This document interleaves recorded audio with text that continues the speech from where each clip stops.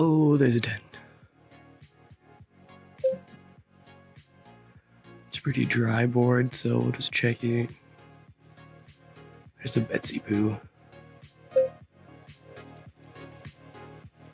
Three bet you, see what you do. Maybe you had pocket eights. And we're for sure gonna call here. 10 King of Diamonds. Ship it. Whoa! I'm on a boat. I'm on a boat. yeah, let's go.